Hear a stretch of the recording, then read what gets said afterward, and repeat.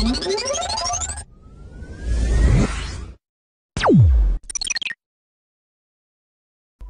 दोस्तों, स्वागत है आपका हमारे चैनल एन बॉली मीडिया में, जहाँ आपको मिलती है अपकमिंग मूवी सॉन्ग और टीवी सीरियल से जुड़ी हर खबर सबसे पहले।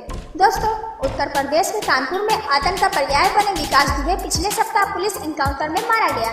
इससे पहले उसने आठ पुलिसकर्मियों की हत्या कर दी थी। अब फ़िल्म मेकर मनीष वाजपेयी या गैंगस्टर विकास दुबे की लाइफ पर वेब सीरीज़ बनाने की तैयारी कर रहे हैं। इस क्राइम थ्रिलर का टाइटल होगा हनक। मनीष ने एक इंटरव्यू में बताया कि मैं गैंगस्टर को लेकर रिसर्च कर रहा हूँ। इसी दौरान मैंने विकास दुबे के बारे में टीवी पर देखा और इसके बारे में जानकारी इकट्ठी करने लगा।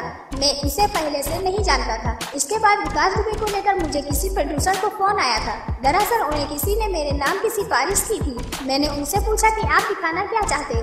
क्योंकि वो अपराधी है, क्योंकि उसने पुलिस वालों की हत्या की है और वो मेरी और देश के नज़र में गुनहगार था। उसका महिमांडन क्यों करना है? तब उन्होंने कहा कि वही हमारी कहानी का विलन है। इसके बाद मैंने ही हाँ कह दी। मनीष ने आगे बताया, फ़िल्म में विकास दुबे के रोल करने के लिए अभी तक किसी एक्टर का नाम फाइनल नहीं किया है। लेकिन इसके लिए बड़ा चेहरा होगा। अभी कोई प्लेटफॉर्म तय नहीं हुआ है जहाँ फ़िल्म रिलीज़ की जाएगी। अभी सिर्फ़ बातचीत चल रही है। उन्होंने बताया कि शायद वो पहले फ़िल्म मेकर हैं जिन्होंने विकास दुबे के जीवन पर वेब सीरीज़ बनाने का निर्णय लिया है। विकास दुबे पर बनने वाली वेब सीरीज़ हनक को आदित्य कश्यप और अवशेष तिवारी प्रोड्यूस करेंगे।